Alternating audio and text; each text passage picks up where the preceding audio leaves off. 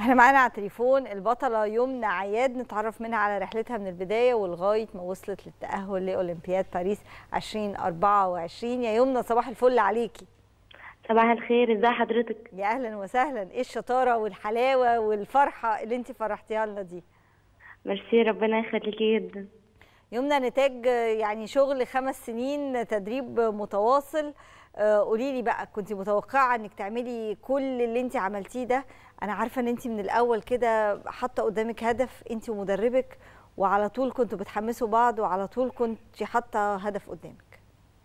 أيوه طبعا كنت حاسة إن أنا فعلا هتأهل. بس كده؟ كنت ده مجه... خمس سنين يا يمنى جاوبيني.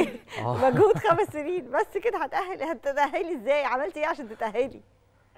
أيوه طبعا آه، كنا بنتعب كتير في التمرين آه، وده أصلا كان الحلم والهدف بتاعنا إن إحنا لازم نوصل ليه. إزاي؟ كنا بنتمرن بنزود عدد ساعات تمرين أكتر الحلم والهدف بتاعي ما كانش دايما بيغيب عن بالي. كان عندي عزيمة إن أنا لازم أوصل للهدف في الحلم بتاعي. برافو عليك يا يمنى يمنى أنا عايز أعرف بقى إيه يومك كان بيمشي إزاي؟ ما بين بقى أكيد في مذاكرة أيوة. أكيد في آه نظام غذائي ماشي عليه في تدريبات في النادي.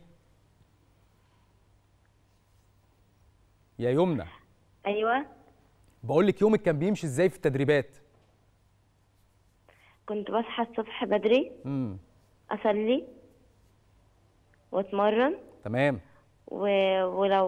ولو وكان عندي كلية بروح كليتي. ولما بخلص بروح ب... ب... بتوضى واصلي واشوف ال- الحاجة اللي عندي في ال... في الكلية أذاكر شوية وبعد تمام. كده برجع أروح التمرين تاني. طب والأكل بقى؟ ملاكمة لازم يكون فيه غذاء كويس. أيوه ما أنا كنت بهتم بالأكل آه بتاعي. طبعا. كان في نظام غذائي أكيد بقى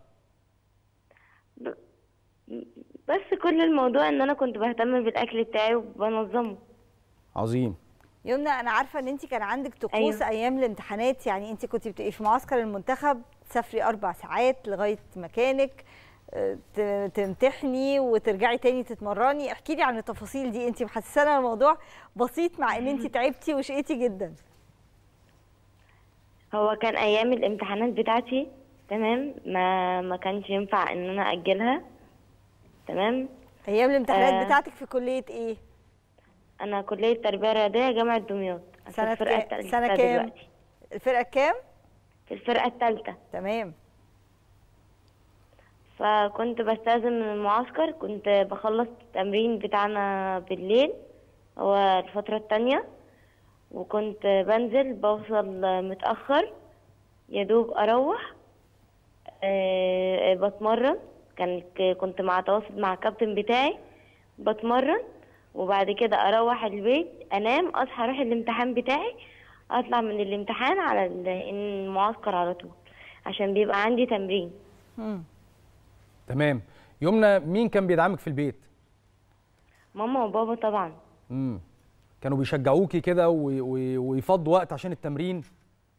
أيوه طبعا كانوا دايما بيشجعوني وهم كانوا أكبر داعم ليا. امم فرحتهم بيكي بقى عاملة إزاي بعد ما تأهلتي؟ طبعا فرحة كبيرة جدا ما تتوصفش لأن هم عارفين إن هم إن هو ده الحلم بتاعي وهم كانوا دايما ورايا وبيشجعوني علشان أوصل للحلم بتاعي ده. طيب والداعمين ليكي دول تقولي لهم إيه؟ ربنا يخليكوا ليا آه، أنتوا كل حياتي. يا سلام يا طيب سلام. هنستعد إزاي بقى لأولمبياد باريس؟ أكيد ليها استعدادات مختلفة. أيوه طبعا بنتمرن وبدأنا نحط خطة من دلوقتي وبنتمرن عليها. طيب أنت كل تدريباتك ليها من دلوقتي.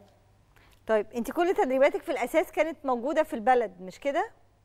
اي لا آه، آه، إحنا قبل إحنا كنا بنتمرن آه، أنا والكابتن بتاعي مع بعض. تمام؟ على طول باستمرار يوميا. وبعد كده عسكرنا في ال- في المركز الأولمبي المنتخب بتاع ال- الملاكمة. قعدنا حوالي شهر ونص أو شهرين. وبعد كده عسكرنا 16 يوم في المغرب. وطلعنا من المغرب على السنغال دكار عشان البطوله مم. إيه أصعب مباراة قابلتيها؟ آه، مباراة دور الأربعة مع. فاطمة بتاعت الجزائر. مم. لأن هو كان ماتش التأهيل مم. كان صعب ده. أيوه. ما شاء الله يا يمنى حققتي إنجاز ولسه قدامك. اللي جاي. بإذن الله تشرفينا في أولمبياد باريس 2024 بنشكرك ونتمنى لك طبعا كل التوفيق. البطلة يمنى عياد أول ملاكمة مصرية تتأهل إلى أولمبياد باريس 2024